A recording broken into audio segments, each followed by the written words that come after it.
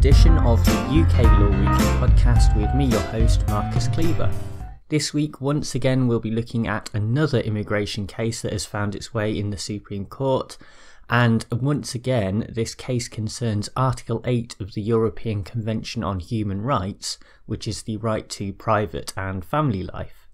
The full citation of this case is the Crown on the application of Agyarko and Ikuga and the Secretary of State for the Home Department, and the citation for this case is 2017 UKSC 11. Now, the two women in the case, Agyarko and Ikuga, are two female foreign nationals who were residing unlawfully in the UK. However, during this period of residing unlawfully in the UK, they had found British partners and had started relationships, and so this is where the Article 8 case of having a right to a private and family life comes into play.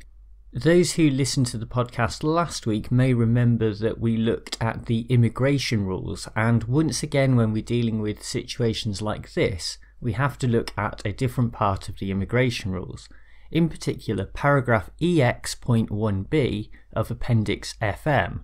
And basically, it sets out two requirements for these relationships. Firstly, and probably most obviously, the relationships themselves have to be genuine. And secondly, there have to be insurmountable obstacles to family life or that relationship existing outside of the UK. In other words, even if you are in a genuine relationship with someone, if it's possible for that relationship to continue outside of the UK, then the deportation can still go ahead. You may also remember from the case that we discussed last week that there was some discussion about whether the immigration rules actually took into account Article 8 of the European Convention. Last week there was the idea that the rules only paid lip service to Article 8 and didn't actually do anything about it.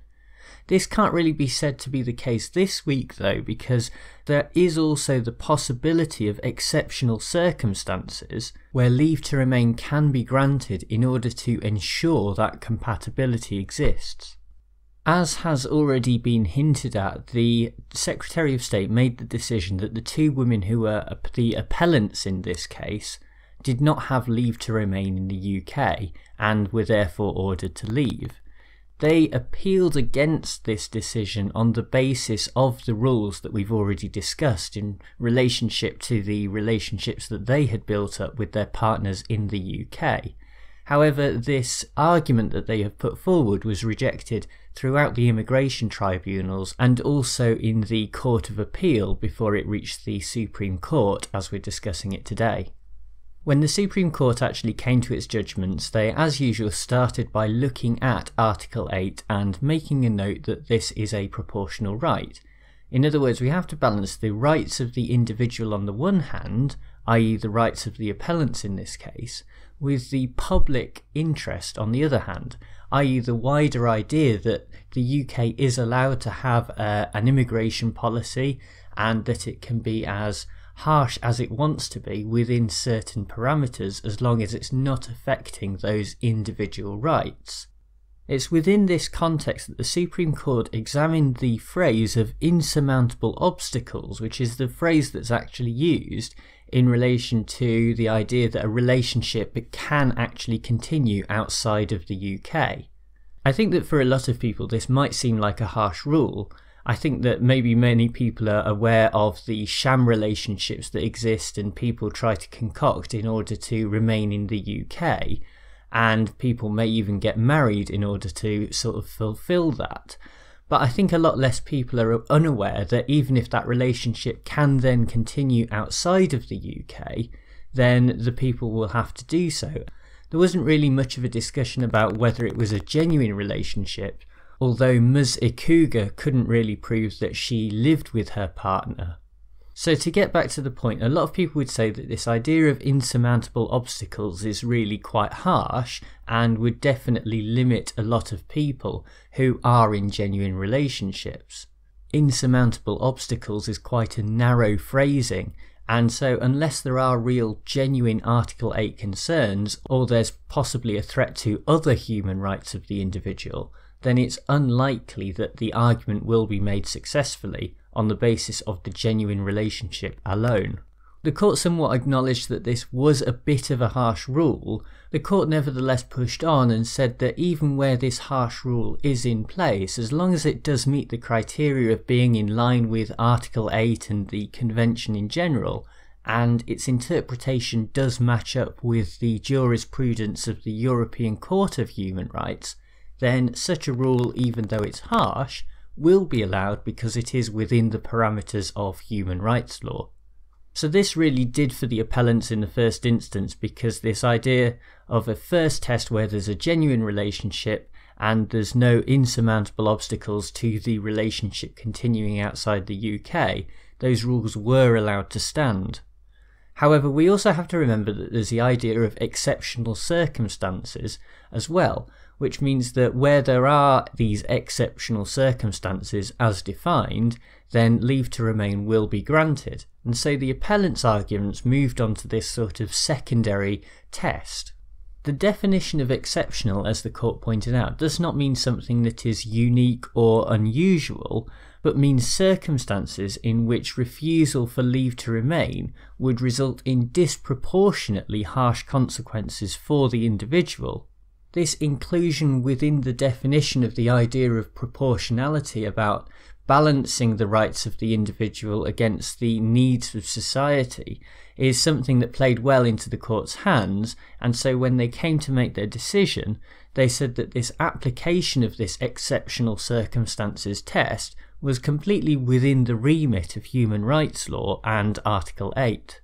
So, overall, then, the Supreme Court also unanimously dismissed the appeal, and all seven judges agreed in this particular case. The practical effect of this is that the immigration rules will remain exactly the same in terms of how they deal with these relationships. There has to be a genuine relationship in the first instance.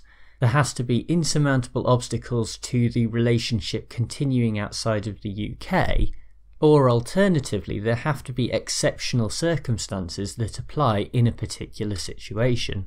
Perhaps it's useful then, as I've sort of hinted at, to compare the case that we're looking at this week with the case that we looked at last week that also concerned immigration, the immigration rules, and Article 8 of the European Convention on Human Rights.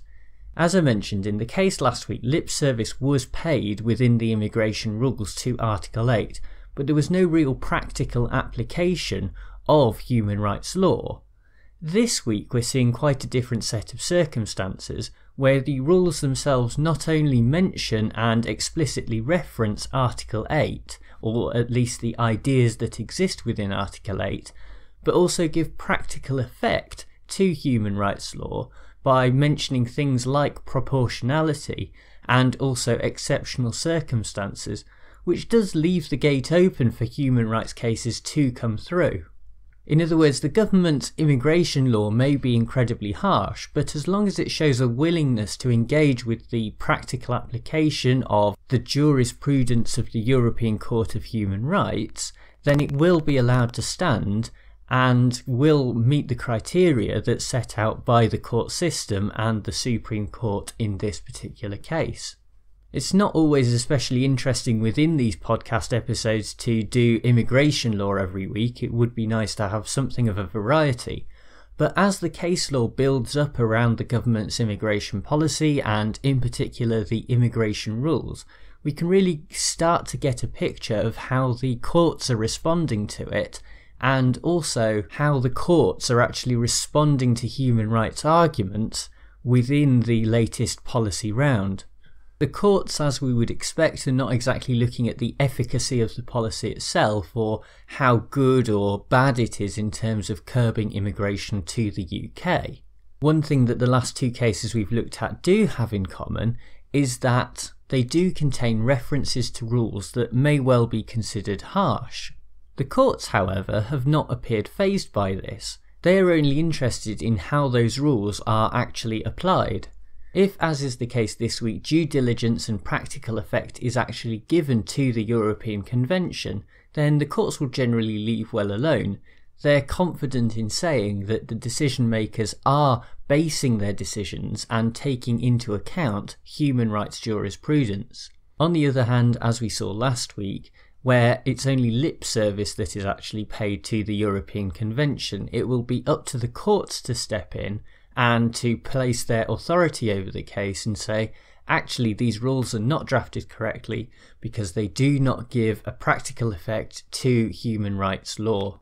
The proportionality then that we talk about is not really about the proportionality of the policy itself and balancing the rights of the UK against those of the individual applicant, but rather the allowing for proportionality to exist within those decision making frameworks of, say, the immigration official or officially the Secretary of State for the Home Department.